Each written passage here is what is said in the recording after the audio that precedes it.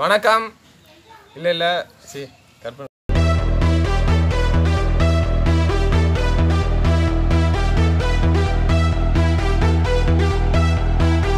ராமேஸ்வரம் மைலண்டரி சேனலுக்கு உங்கள் எல்லாரையும் கடல் வாசத்தோட வரவேற்கிறோம். இன்றைக்கி நம்ம என்ன பார்க்க போகிறோம்னா இதை பார்த்தா தெரியும். இது பேர் வந்து ஓலக்கட்டா. கட்டாவில் வந்து மொத்தம் மூணு வகைக்கிட்ட இருக்குது களிக்கட்டா ஓலக்கட்டா ஈக்கி கட்டா சொல்லி மூணு வகை இருக்குது நம்ம முன்னாடி ஒரு வீடியோ பண்ணியிருக்கோம். கட்டா கிரில் பண்ணியிருப்போம். அது வந்து களிக்கட்டா இது வந்து ஓலக்கட்டா. நான் என்னென்னா கட்டா கிடச்சிச்சு ரெண்டரை கிலோவில் இதுக்கு வந்து பேர் வைக்கணும்னு சொல்கிற ஒரு ஐடியாலாம் கிடையாது. ஒரு டிஷ் ஒன்று பண்ணலாம். பண்ணதுக்கப்புறம் பேர் வைக்கலான் இருக்கோம். அது மாதிரி உங்களுக்கு ஏதாச்சும் நாங்கள் பண்ணி முடிச்சதுக்கப்புறம் இதுக்கு இப்படி பேர் வைக்கலாம் அப்படி சொல்லி உங்களுக்கு என்ன தோணுதோ ஆளுக்கு ஒரு பேர் வைங்க. அதில் எது பெஸ்ட்டான பேர்னு சொல்கிறத நாங்கள் வந்து அடுத்த வீடியோவில் வந்து நாங்கள் மென்ஷன் பண்ணுவோம். ஒரு ரெண்டரை கிலோ இருக்கும். அது மாதிரி இதில் பார்த்தீங்கன்னா செதில் இருக்காது. உங்களுக்கு காமிச்சனா தெரியும். ஏன் பாருங்க. இங்கே பாருங்க. மற்ற மீன் பார்த்தீங்கன்னா நீங்கள் எவ்வளோ தான் இப்படி இழுத்து எடுத்தீங்கன்னா செதில் எடுக்கிறது தான் ஒரு வேலையாகவே இருக்கும். கட்டாவில் வந்து ஸ்பெஷலே வந்து செதில் இருக்காது. செதில்லா மீனில் கட்டாவும் ஒன்று சுத்தமாக செதிலே இருக்காது. இந்த தோலை தான் உரிக்கிற மாதிரி இருக்கும் எடுத்தால்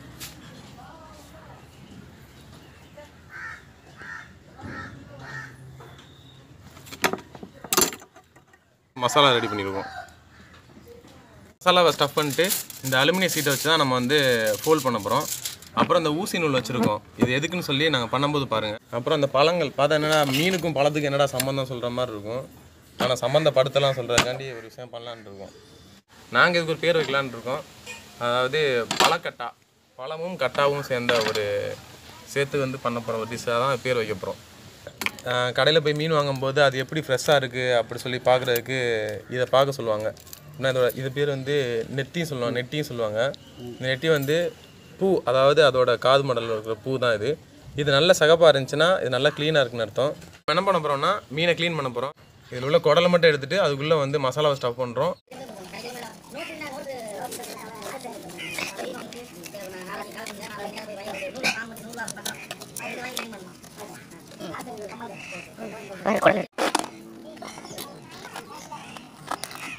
இதில் வந்து நம்ம மீனை வந்து மீனுக்குள்ளே வந்து அந்த மசாலா எல்லாத்தையும் வந்து நம்ம ஸ்டஃப் பண்ண போகிறோம் மீனை க்ளீன் பண்ணிட்டோம். மீன் க்ளீன் பண்ண இந்த பாருங்கள் க்ளீன் பண்ணியாச்சு.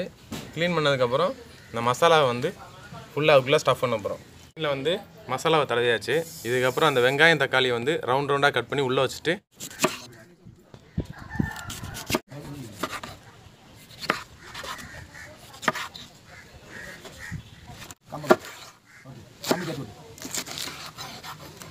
இப்போ ரவுண்டு ரவுண்ட் ரவுண்டாக வெட்டின வெங்காயம் தக்காளி அப்புறம் வந்து இந்த குடமிளகா மூணையும் வந்து அப்படியே அழகாக ஆர்டராக வந்து ஸ்டஃப் பண்ணுறோம்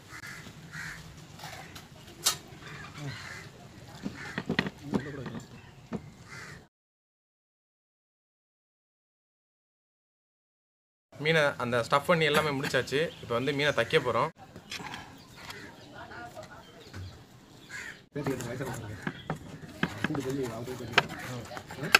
மீன் தச்சாச்சு. இன்னும் இதுக்கப்புறம் வந்து அடுத்த ப்ராசஸ் போயிடலாம்.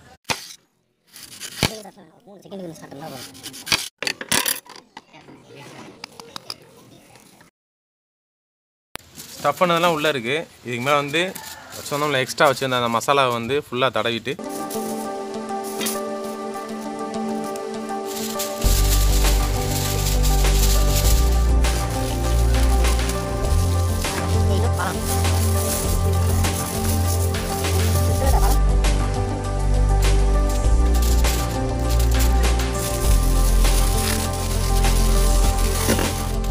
எல்லாம் ரெடி ஆயிடுச்சு. இதுக்கப்புறம் நம்ம எதை சூடாக தான் செய்யணும். சுட்டு அடுத்து சாப்பிடணும்.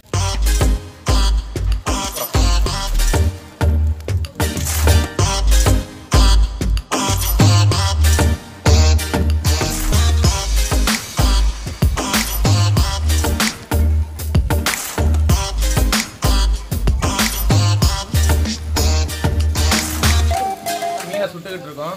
இதுக்கு இடையில ஒரு கதை சொல்லலாம்னு நினைக்கிறேன். அந்த கதை என்னன்னா கேளுங்க ஒரு ஊர்ல வந்து ஒரு அப்பாவும் ஒரு மகன் இருந்தாங்களாம். அந்த அப்பாவும் மகனும் வந்து அப்பா மகன் சொல்ற உறவை தாண்டி வந்து ஒரு நண்பர்கள் மாதிரி பழகி இருந்திருக்காங்க இப்போ ஒரு நாள் அவங்க அப்பா வந்து நைட்டு தூங்க வைக்கும்போது அந்த பையன்கிட்ட வந்து ஒரு கேள்வி கேட்டிருக்காங்க. என்ன கேள்வினா டேய் மகனே நீ வந்து மீன் வந்து எப்படி தண்ணியில் வாழுதுன்னு உனக்கு தெரியுமா? அப்படின்னு கேட்டிருக்காங்க அப்போ அந்த பையன் என்ன பண்ணியிருக்கான்னா யோசிச்சிருக்கான். என்னடா அப்பா திடீர்னு நம்மள்ட்ட இப்படி ஒரு கேள்வி கேட்குறாரு அப்படின்னு சொல்லி யோசிச்சுட்டு ரொம்ப நேரம் யோசிச்சிருந்தோடனே அவங்க அப்பா கேட்டிருக்காரு. என்னடா ரொம்ப நேரமா யோசிச்சுக்கிட்டு இருக்க? பதில் என்னன்னு தெரியுமா? அப்படின்னு கேட்கும்போது அவர் சொல்லியிருக்காரு. இல்லப்பா. அந்த பையன் சொல்லியிருக்கான். இல்லப்பா எனக்கு என்ன சந்தேகம்னா மீன் வந்து தண்ணியில வாழுது நீங்க சொல்றீங்க. அது எப்படின்னு தெரியல. ஆனா அந்த தண்ணியில வாழ்ற மீன் கடைசியில அந்த தண்ணியிலே தான் சமையல் செய்யறதுக்கு பயன்படுது. தண்ணிலாம் சாகுது. அப்படிதான் எனக்கு ஒரு ஆச்சரியமா இருக்கு. ஏன்னா அந்த மீன் தண்ணியில தான் வாழுது. வாழ்ந்ததுக்கப்புறம் பிடிச்சி நம்ம குழம்பு வைக்கும்போது அதே தண்ணியில் தான் நம்ம வந்து அந்த மீனை வந்து குழம்பு வச்சு சாப்பிட்றோம் இது அந்த பையன் சந்தேகமாக சொல்லியிருக்கான். நானும் ரொம்ப நாளாக யோசிச்சுருப்பேன் ஆமல தொடக்கம் அந்த மீனுக்கு வந்து வாழ்க்கையும் தண்ணியில் தான். அதுக்கப்புறம் வந்து நம்ம பிடிச்சி என்ன பண்ணாலுமே அதை க்ளீன் பண்ணாலும் சரி அதை குழம்பு வச்சாலும் சரி என்ன பண்ணாலுமே அந்த மீனை வந்து தண்ணியில் தான் நம்ம சமைச்சு சாப்பிட்றோம். கொஞ்சம் ஆச்சரியமாக இருந்துச்சு. இது வந்து நான் கேள்விப்பட்ட ஒரு கதை. இது மாதிரி நம்ம மனுஷனோட வாழ்க்கையில யோசிச்சு பார்த்தோம்னா எல்லாரோட வாழ்க்கையுமே அப்படிதான். ஒரு விஷயத்தெல்லாம் ஆரம்பிக்கும் அதே விஷயத்தெல்லாம் இருக்கும். இது நல்லா இருந்துச்சு இந்த கதை வந்து. சரி இந்த மீன் சொல்ற டைம்ல அந்த கதை கதைக்குள்ள இந்த கதையை பேசலாம் அப்படின்னு சொல்லதான் நான் சொன்னேன். மீனை பரட்ட போறோம்.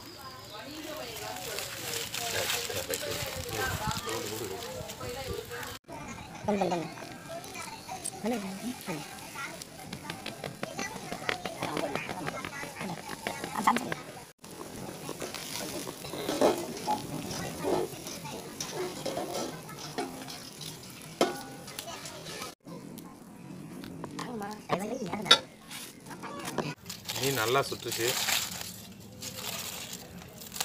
இந்த பழத்தோட வாசம்லாம் உள்ளே இறங்கிருக்கும். இந்த ஆப்பிள்.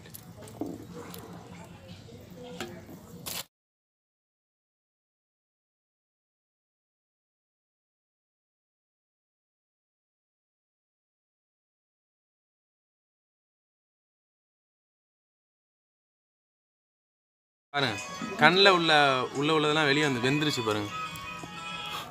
சுடுது போகிறது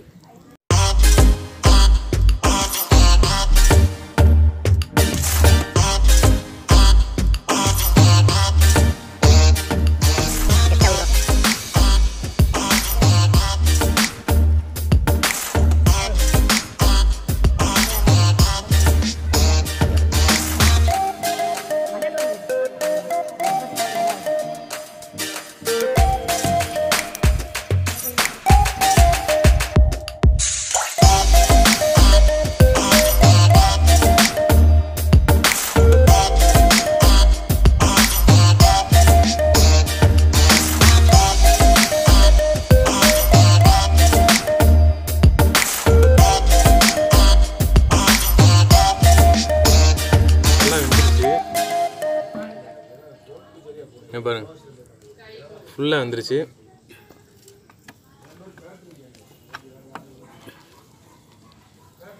தக்காளி வெங்காயம். இதுக்கு முன்னாடி நாங்கள் அந்த மீன் கிரில் பண்ணியிருக்கோம். இது கொஞ்சம் புதுசாக ட்ரை பண்ணலான்னு பண்ணியிருக்கோம். வந்து பேர்லாம் வைக்கல. அது மாதிரி சொன்னது தான் உங்களுக்கு என்ன பேர் வைக்கணும்னு தோணுதோ அந்த பேரை நீங்கள் வச்சுக்கிறீங்க. சூப்பராக இருக்குது கட்டாக கிரில் சாப்பிட்டோம். அதுக்கு இதுக்கு ரொம்ப வித்தியாசம் இருக்குது ஏன்னா அந்த பழத்தெல்லாம் மேலே நம்ம சுற்றி வச்சுருந்தோம்ல ஆனால் அதோட ஸ்மெல்லு இருக்குது அது மாதிரி வெங்காயம் தக்காளி எல்லாமே ரொம்ப நல்லாவே வந்திருக்கு. செம்ம டேஸ்ட்டாக இருக்குது உங்களுக்கு இந்த நாங்கள் பண்ணது இந்த வீடியோ எல்லாம் பிடிச்சிருந்துச்சுன்னா எல்லாம் பிடிச்சிருந்துச்சுன்னா லைக் பண்ணுங்கள் கமெண்ட் பண்ணுங்கள் ஷேர் பண்ணுங்கள் அது மாதிரி மறக்காமல் சப்ஸ்கிரைப் பண்ணுங்கள் பிடிச்சிருந்துச்சுன்னா உங்கள் ஃப்ரெண்ட்ஸ்கிட்ட ஷேர் பண்ணுங்கள் ராமேஸ்வரம் மைலாண்ட் சேனலை சப்ஸ்கிரைப் பண்ணுங்கள் ம்.